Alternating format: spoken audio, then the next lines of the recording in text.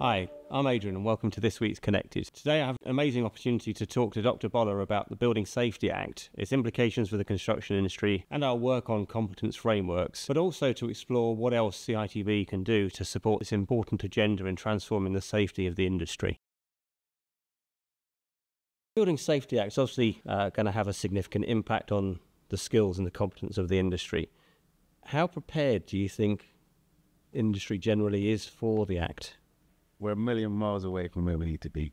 We're literally at the beginning of a process that should have begun years ago. Well, there's a lot of work that that, as you know, we've started and we're supporting others on with the competence frameworks. Um, they they tend to be a little bit uh, hidden from employers. The real things are the skills and the training things that we need to put in place to to help people to build those competencies. But I think the the challenge for for us goes beyond creating the training and is actually changing the motivations and the attitudes of, of the industry uh, to safety um, and how we drive greater appetite within industry to achieve competence. Um, I don't know whether whether you've got any insights on that. You know, the Building Safety Act talks about legal compliance. Um, my concern is clients aren't ready. Many don't understand their new obligation, and many still think they can delegate their way out. So there's lots of resource out there already about building safety, golden thread. But our challenge is culture. How do we start inspiring that change? We need to start boldly sharing our perspective, sharing our knowledge, but we have to make it about the person. And I think that's where CITB can start to map that journey. I'm not fazed by the fact that we need to start helping people learn. Is there an understanding that we all have to upskill? Some, in fact, many still think it's got nothing to do with them, largely because we're talking about high rise residential buildings. The principle of the Building Safety Act will apply to every project, right? So you'd be looking, you, would be hoping to see a change in industry adopting competence themselves uh, more as a as a direction of travel for them rather than just a regulated world. You know, I say that as a as a chartered surveyor, we have 20 hours per annum CPD we have to do. I want to help CITB introduce that culture into the sector. Just just on the subject of, of the motivation of clients, which is clearly an issue, what what do you think CITB or others can do to try and uh, drive that change of behaviour in client? The client is the most important person, but some clients still think they can delegate this obligation. So CITB have a, and others have a role to play around educating stakeholders generally. From a client perspective, I think there's just a lot of denial. That motivation, it's got to be storytelling. You know, who is leading that conversation at the moment? Who is the, it should be agencies like CITB. It should be professional bodies like CIC, CLC, RICS, RIBA, ICE. Many still don't understand the criticality of what this legislation really means, right? So sharing stories, providing access to case studies should be what's happening. I'm disappointed because it's just happening at such a slow rate.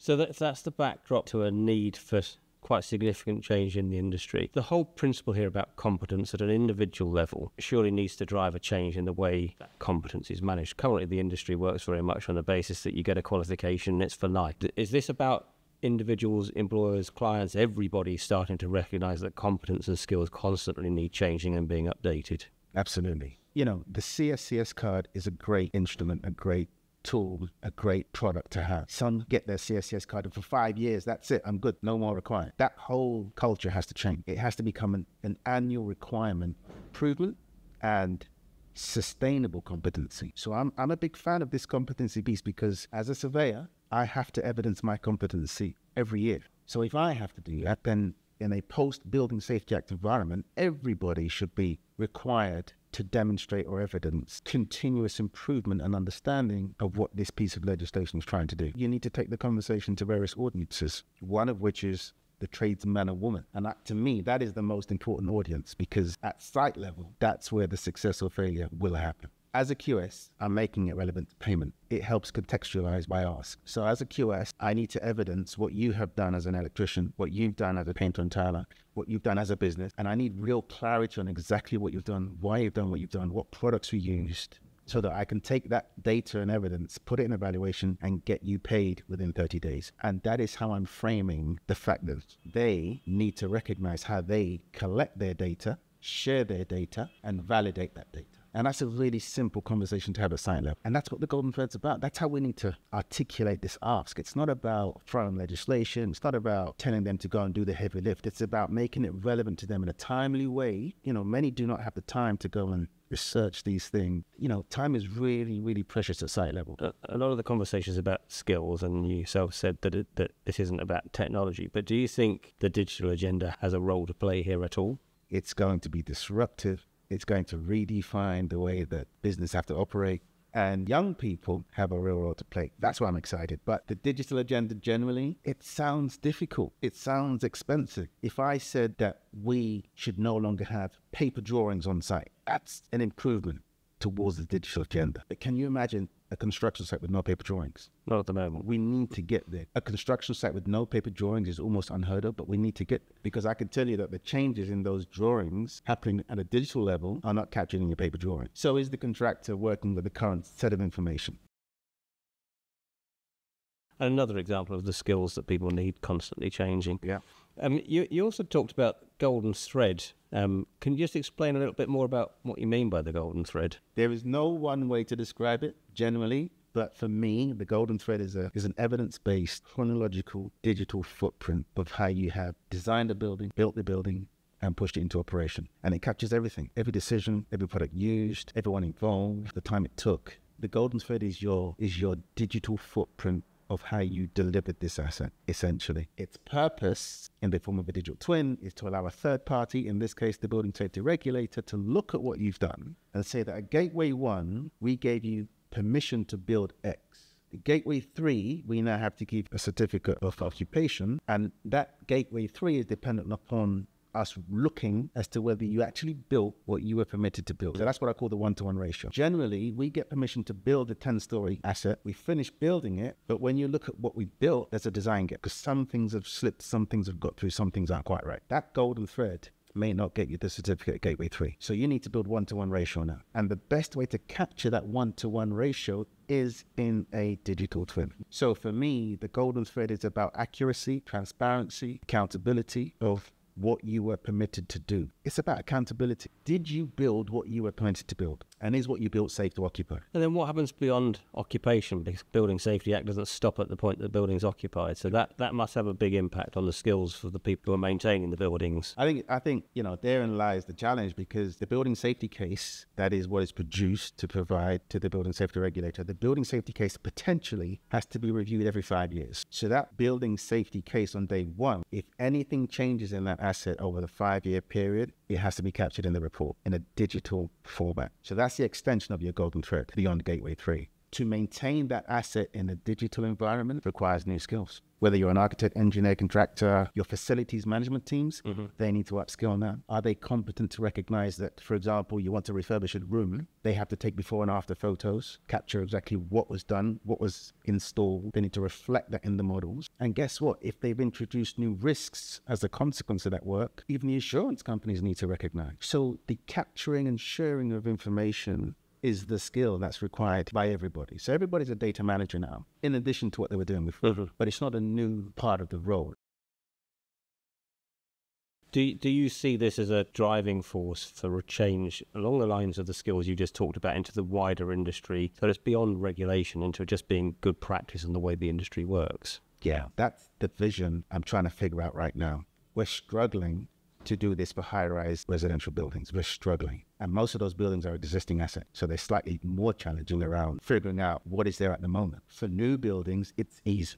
There is no reason why the digital skill sets required to deliver new stuff aren't there already. The challenge is legacy assets, as I call them. We are, we just don't have the technical toolkit to do that well. This is probably the first challenge I've seen that is not geared towards seniority.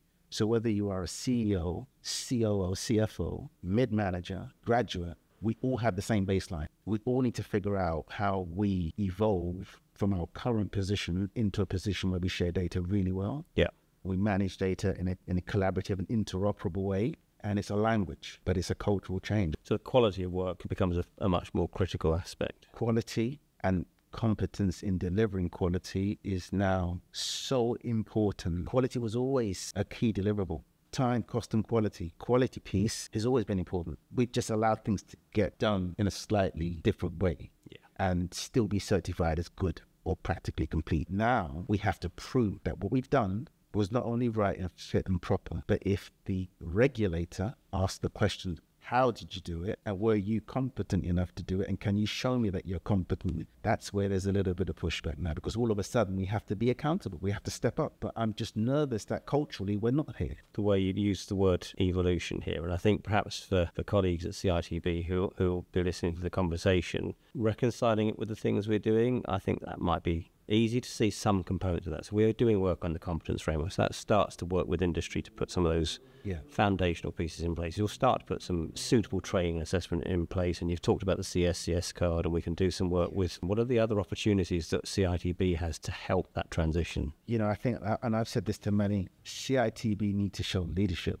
boldly to step into this space. We're tiptoeing around some of the obvious stuff. That bold leadership, I think number one, that's CITB's role. Number two, plain language. We need to demystify, no acronyms, plain language, easily understood, bite-sized chunks. Learn as you have time to learn. At the academy, we're offering micro credentials, bite-sized chunks of learning the whole way we learn has changed. The pandemic has positively disrupted a whole rate of traditional norms. And I think there's a real opportunity for CITB to reinvent how CITB levy payers and their people learn. We need to be having more of this Yeah. at site level. I'm, I'm even thinking about toolbox talks on digital at site level. We're doing toolbox talks on health and safety. We need a toolbox talk on digital. We need a toolbox talk on the golden thread, for example. But to do that, site managers need to get their act together. But I'm excited because it's no longer an option. It has to happen. Someone has to lead. Well, I was going to ask, what what would your fears be for the for the industry if if industry doesn't grasp this level? You know, I get asked a question by some clients who said to me, Bola, what is the true cost of compliance with the Building Safety Act? And I looked at them because there were three or four of them in the room, and I said 72 lives. The true cost of compliance with building safety are the 72 lives that have already been, mm-hmm. been taken. That's the true cost. The actual cost is whatever you determine is the cost for you to upskill your team. And that's a paper cost, that's a paper value. But the true cost are the people that are no longer here. The sector has to change. I'm excited because I know that things will change. My concern is how long it's taken to tangibly happen at senior level all the way down to operational level. And seven years in, I'm just not convinced we're going to get. And three million people in our sector, Adrian, that have to figure out what digital means to them. So I'm hearing some of the things that, that will underpin this transformation. One is CITB recognizing the mm. way we, we deliver our product and services that actually the way that people need to consume be more flexible, more modular, all those kind of things. Yeah. And that starts with the competence frameworks, obviously. The thing we've been talking about has come from quite a terrible place to start off with what happened at Grenfell. But looking forward, do you think these transition that needs to happen is also the key to achieving more positive change in, in that regard too? We talk about achieving net zero by 2050. 80% of those buildings are already here, where you're going to need data driven solutions akin to digital twins, right? Because we need to measure that carbon piece in real time. Every building has to have its own footprint. And that footprint can only be really measured in the right granularity with a digital twin. So if you do the heavy lift required to comply under building safety, you can pivot very quickly into decarbonization. So one feeds the other. And I think that's why we have no choice, right? If we're going to get this planet into a better place, we've got to think about decarbonization of existing legacy assets. And that's largely what the Building Safety Act is forcing us to do. So, you know, they're all related. It's not rocket science, really, but there's a there's an upskilling piece required. And And a change of pace by the sounds of it. I mean, 2050 is only about 25 years away, so we need to pick up the pace. when I think about what we have achieved in seven years in the UK, it's co- it's completely disproportionate. The amount of effort that's gone into it by some of us versus where we are today is disproportionate. The level of understanding with the resources, with the training and the upskilling piece, with the conversations, and by getting young people into that conversation, it will expedite. So I'm I'm absolutely convinced that within five to ten years, we'll have a different landscape in the UK. Question is, will we still be relatively a first or second mover in a global perspective because where will the UK be from a competitive advantage in five to 10 years? Will we still be number one or two? We may drop to three or four, maybe five. But the digital unlocks all of this stuff.